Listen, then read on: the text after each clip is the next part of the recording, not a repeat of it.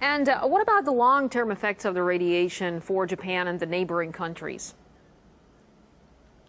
Well, in health terms, it's very unlikely that anybody is going to uh, suffer any direct health effect uh, from this. Excuse me. Excuse me. Excuse me. Excuse me. Okay, let's debunk RT one more time. And this is straight from the NRC FOIA documents pertaining to Fukushima, uh, where Chairman Jaczko, Jim Wiggins, and an unknown male participant are having a conversation here. And Jim Wiggins says, "What's the what's the president's case?" Male participant responds, "It's it's bounding. It includes the the fuel in the three reactors, the fuel in the four spent fuel pools. It does not include the common spent fuel pool around Unit 4, nor reactors 5 and 6 or any spent fuel pools there. And it's assumed a release over a four to five day period." Okay, what's important there? The president's case. They're talking about the president's modeling of the plume and fallout and the results, the real time effects of Fukushima. They're wanting to model the source terms and the fallout from Fukushima. And that's what this president's model is. And it's, as you can tell, it sounds pretty serious. Now, 45 days of emanations, that's kind of bunk. We know it's 800 something days and ongoing. But that gives you an idea the president is modeling a worst case scenario. They know it's really bad, really bad. Okay, this next one, what's important to look at down here at the bottom, Jim Wiggins says the PAR looks good, and we'll let you know what these NARAC, and they do modeling, NARAC, what these NARAC, what the president's run results in in California, Hawaii, and those places. We'll make sure you know that. So what you can see from this one is they're modeling as far away as California, Hawaii. They know this plume's going to come. They know the fallout's going to come. They know from Chernobyl we have the Pacific jet stream coming this way. So it's patently absurd to say no one's going to suffer any health effects. And we're going to check health effects in just a second. This next screen capture right here from Linda Howell on the 16th. Let me just read the important part to you. It says, Unit 4 situation is deteriorating. Spent fuel pool water inventory is lost. Japanese military had planned to drop seawater over Unit 3 and probably Unit 4 yesterday, but this plan was abandoned due to high dose rates. The dose rates around Unit 4 make entry impossible at this time, and it talks about dose concerns after that. But critical for you to know that that's how serious it was. No water in spent fuel pool number 4 you know, dose rates so high they can't even go into drop seawater. And in the FOIA documents, NRC does not speak very highly of the helicopter drops or the water cannon concrete truck pumpers. They say it's, it's virtually ineffective. Next screen capture, real quick. I just want to read you this one uh, where I believe they talk about worst case um, scenario. And this is from Tom Andrews on the 14th, and he says, I'll read the highlighted part. Sad to say, but this sounds like one of those quote unquote worst case scenarios we have practiced for years. Parentheses, prolonged station blackout.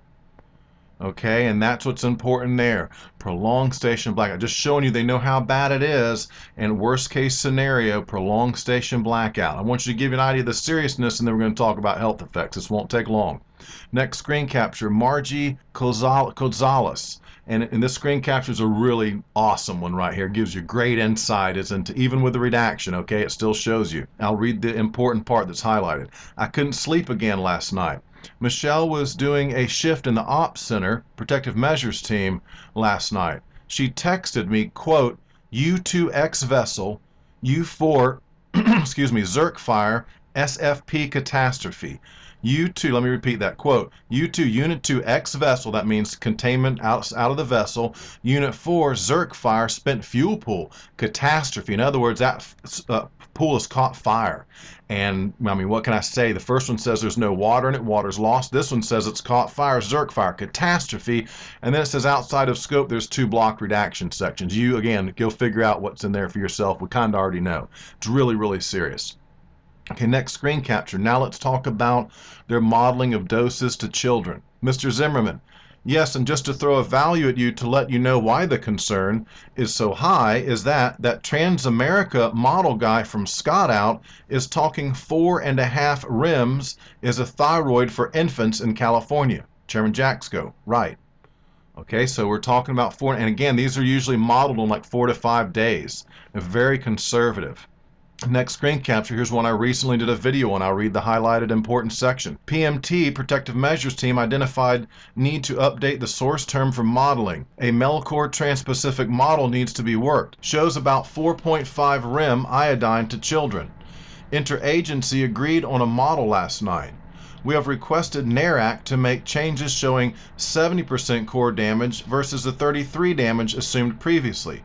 We're trying to ensure that the over-conservatism errors in the 4.5 rem does not get issued. Okay, in other words, they've been very conservative thus far in their modeling, and even with that conservative modeling, they're showing 4.5 rem iodine to children. That's a trans-Pacific across the Pacific. And that rings true with the one we just talked about in the previous screen capture about 4.5 REMs to children in California. Okay, so we're now we're talking about real-time modeling of doses and effects to children in America. Okay, screen capture. I'll read the highlighted section. He says, in Alaska, up to 35 FAR REM for a one-year-old child projected thyroid dose and that's for a northeast wind. And also up to 6.4 in Alaska for the thyroid dose for the one year old for an eastern wind.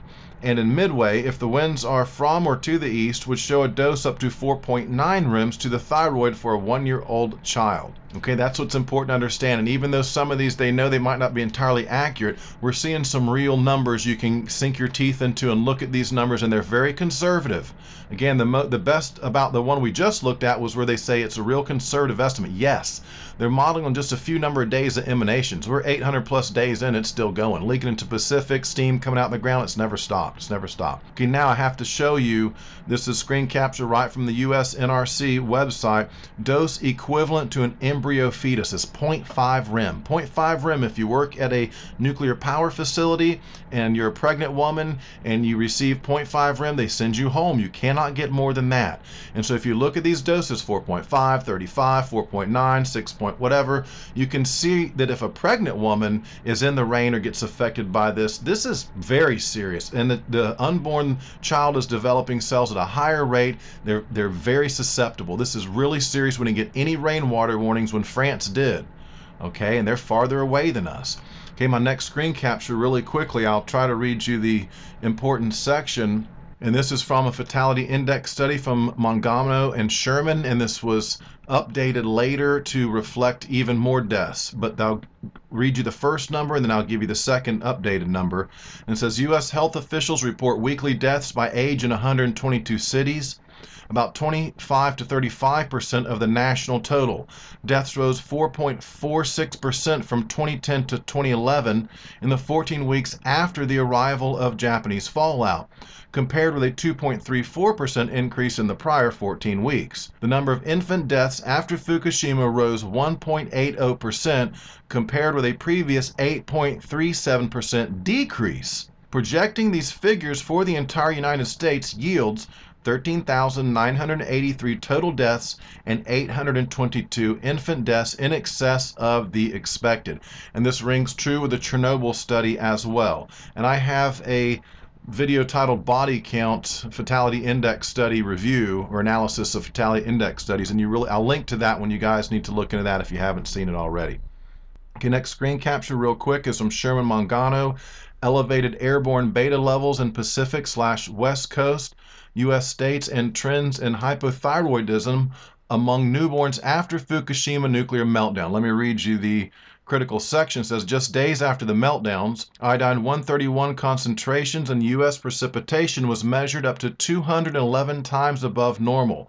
Highest levels of I-131 and airborne gross beta were documented in the five U.S. states on the Pacific Ocean. The number of congenital hypothyroid cases in these five states from March 17 to December 31, 2011 was 16% greater than for the same period in 2010, compared to a 3% decline in 36 other U.S. states.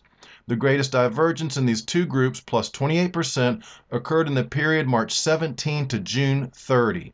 Okay, that's critical. Right after Plume's arrival, we got blasted. What can I say? And the next clip is from Bobby One, who's an excellent, top-notch researcher. Okay, and here's his fatality index study, which is more in depth, and he's like I say, he's he's excellent because he won't include an area if he doesn't have all the data. So this would be conservative, very conservative, but better to err on the side of being conservative than to post crazy numbers. But keep in mind when I say by the year 2031 there'll be 1.3 million cumulative deaths in the U.S. This is an estimate, but again, I would look to you and say this is going to be a conservative estimate. Just like in Chernobyl, we know they say not very many people died. Well, there's estimates uh, that are on file in New York Annals of Science that are 900 plus thousand from very reliable Nesterenko uh, Yablokov study. And then now we have these reports coming in uh, from Fukushima. So this guy on RT to say that there'll be no ill health effects to speak of. And for RT, furthermore, to continue to promote this kind of bogus propaganda, they, they for me, RT has lost all credibility terms, it's very unlikely that anybody is going to uh, suffer any direct health effect. Uh, excuse me. excuse me. excuse me.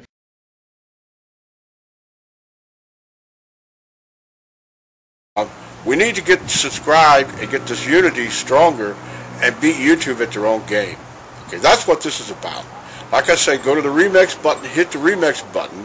That way you'll have this video and, and keep up with this. Otherwise, you know, YouTube's just going to control us, guys, and it's, it's really bad.